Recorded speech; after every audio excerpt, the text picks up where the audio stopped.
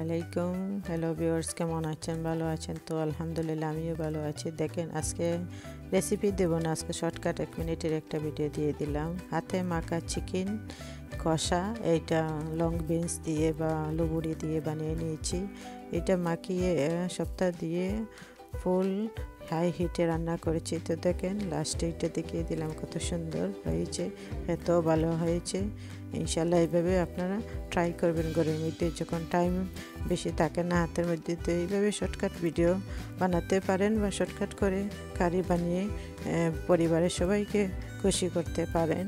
তো আমি এইভাবে বানিয়ে আপনাদেরকে দিয়ে দিলাম। এটা আমি রেসিপি দেই নাই। যদি রেসিপি দেখতে চান তাহলে কমেন্ট করলেই ভালো হবে।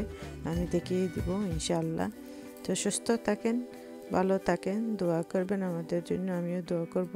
আল্লাহ হাফিজ।